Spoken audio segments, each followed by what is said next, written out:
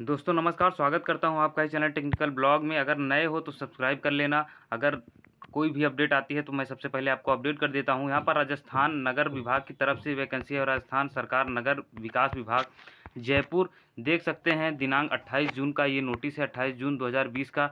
और यहाँ पर देखेंगे सचिव राजस्थान आवास मंडल, जयपुर। तो यहाँ पर मैं बताने वाला हूँ आपको कि यहाँ पर वैकेंसी निकलने वाली है। जूनियर इंजीनियर की राजस्थान आवासन मंडल में परियोजना अभियंता कनिष्क पद पुनः सृजित किए जाने के संबंध में तो यहाँ पर चलिए मैं बात करता हूँ एक तरफ़ से कि किसमें कितनी वैकेंसी आने वाली है। तो महोदय उपरोक्त विषय अंतर्गत संदर्भित पत्रों द्वारा प्रेषित प्रस्ताव के क्रम में राज्य सरकार के सक्षम स्तर के लिए किए गए नियमानुसार मंडल के परियोजना अभियंता वरिष्ठ के एक सौ इक्यावन पदों को परियोजना अभियंता कनिष्क में एवं परियोजना अभियंता वरिष्ठ के विद्युत, यानी क्या है, इलेक्ट्रिकल के ग्यारह पदों को परियोजना अभियंता कनिष्क विद्युत में कमावनवत कर परियोजना कनिष्क के पद सृजित किए जाने की स्वीकृति अदादर प्रदान की जाती है। यानी स्वीकृति मिल चुकी है कितने पदों के लिए? एक सौ इक्यावन इसमें।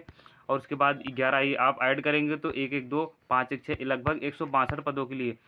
यह स्वीकृति व्यय विभाग की आईडी संख्या, इतने, ये आईडी नंबर है इनका। उसके बाद छब्बीस जून दो हज़ार तेरह के द्वारा सहमति के अनुसरण में की जाती है। तो ये पूरी न्यूज़ है राजस्थान जेई की और मैं राजस्थान जेई के रिज़ल्ट के बारे में बात करने वाला हूँ, जो डिप्लोमा का रिज़ल्ट है कि आखिर वो डिप्लोमा का रिज़ल्ट कब आएगा। तो एक हफ़्ते के अंदर आपको पता चल जाएगा कि डिप्लोमा का रिज़ल्ट कब आने वाला है, क्योंकि सुनने में आ रहा है, कई जगह से डिपार्टमेंट ने भी ये कहा है कि हम डिप्लोमा का जो सिविल डिप्लोमा का रिज़ल्ट अभी नहीं आया है। इन लोगों का रिज़ल्ट लगभग एक हफ़्ते के अंदर आपको पता चल जाएगा कि रिज़ल्ट कब आएगा। मतलब ये नहीं कि एक हफ़्ते में आ जाएगा, लेकिन एक हफ़्ते में आपको ये जानकारी हो जाएगी। और राजस्थान जे डिग्री का एग्ज़ाम उसके लिए मैं बता दूँ, वो भी आपको एक हफ़्ते में पता चल जाएगा कि आखिर डिग्री का एग्ज़ाम किस डेट को होने वाला है, कब तक होने वाला है, इसके बारे में आपको पता चल जाएगा। क्योंकि अभी तक इसके बारे में कोई निर्णय नहीं लिया गया है, अभी कोई एग्ज़ाम वगैरह स्टार्ट भी नहीं है। तो उम्मीद है कि ये जो एग्ज़ाम है, ये पंद्रह जुलाई के बाद ही संभव है, क्योंकि काफ़ी सारी दिक्कतें हैं, भी हैं। इसलिए अभी पंद्रह जुलाई के पहले तो संभव नहीं है कि एग्ज़ाम होगा या कोई सी डेट वगैरह आएगी। तो मुझे उम्मीद है कि अगस्त के फ़र्स्ट वीक तक या जुलाई के लास्ट वीक तक आपके एग्ज़ाम होने की संभावना है और एक वीक में ये भी पता चल जाएगा, एक हफ़्ते के अंदर आपको ये भी पता चल जाएगा कि आखिर राजस्थान जे का एग्ज़ाम, जो डिग्री का, जो कैंसिल हुआ था सिविल का, वो आखिर एग्ज़ाम कब होगा? और यहाँ पर आप देख रहे हैं एक सौ बासठ के आसपास में ये डिपार्टमेंट भर्ती भी सुनाई दे रही है तो आई होप जल्द ही इसमें भी वैकेंसी आने वाली है। तो यहाँ पर आप देखेंगे, कई सारे डिपार्टमेंट में वैकेंसी मतलब आ रही हैं, आने वाली है, और आपने देखा है कि राजस्थान सी का एग्ज़ाम भी मतलब होने वाला है, इसका भी मतलब ऑनलाइन वगैरह शुरू होगा। तो यहाँ पर काफ़ी सारी चीज़ें स्टार्ट हो चुकी हैं और इसका भी एग्ज़ाम होगा। और यहाँ पर आप देखेंगे आर वगैरह भी जो भी वैकेंसी है, उनकी आने वाली हैं और एग्ज़ाम जो फंसे हुए हैं आरपीएससी के जो भी एग्ज़ाम है आर एस के तो जितने भी चीज़ें हैं, अब धीरे धीरे प्रक्रिया शुरू हो रही है।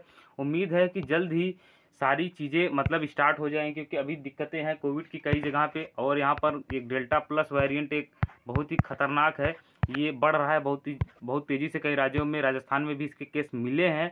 तो उम्मीद ये है कि सरकार इस पर मतलब थोड़ा डिले कर सकती है वो देखना मतलब वो और भी मतलब देखना चाहते हैं कि हो सकता है कि ये केसेस अगर लगातार बढ़ने लगे, क्योंकि थर्ड वेव का भी मतलब ये आ रहा है कि लगभग फोर वीक के अंदर आप थर्ड वी थर्ड वेव भी आ जाएगा।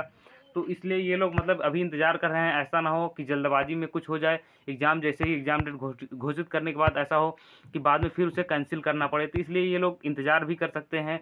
और एटलीस्ट तो पंद्रह जुलाई के पहले तो कुछ भी संभव नहीं है, पंद्रह जुलाई के पहले कुछ भी नहीं होगा। हाँ यूपी में यूपी पी का एग्ज़ाम सुनने में आ रहा है कि चार जुलाई को यूपी पी सी का exam Uttar Pradesh power corporation limited की तरफ़ से ये एग्ज़ाम होने वाला है। उम्मीद है कि ये एग्ज़ाम टेक्निकल का पहला एग्ज़ाम होगा यूपी में।